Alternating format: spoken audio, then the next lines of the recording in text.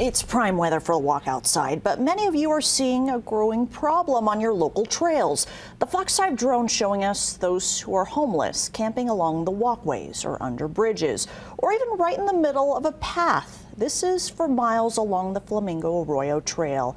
County officials say there's work being done to clear these public rights of ways, but social workers say they also have the tough job convincing those who are living there to get off the streets increasing presence of folks who are homeless throughout the valley.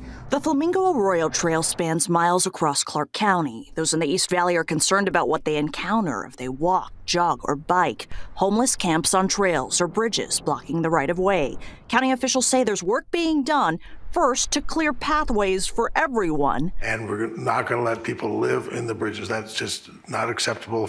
But we have to keep those bridges and those trails open for everybody else. Those encampments tend to grow. We do reach out, we do make contact, start that rapport building. We don't have the authority to uh, to make them move. The other half of tackling the homeless problem is helping those in need leave the streets. Clark County Social Services and social workers with care teams go out and stage interventions. It's difficult to get folks who are living out on the streets into care. Effort to get them housed sometimes can take 10, 12 different interventions. Reynoso explains every person's reason for being unhoused is different. From worries about their stuff or losing a pet, social workers have to answer their concerns about leaving a camp and offer a better solution.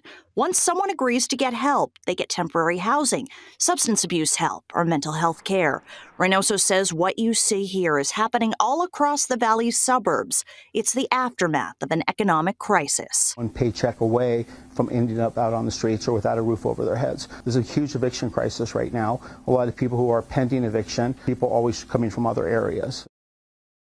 And there's other work underway to get more beds for the homeless quickly. There's a motel along Boulder Highway that's being converted into temporary housing.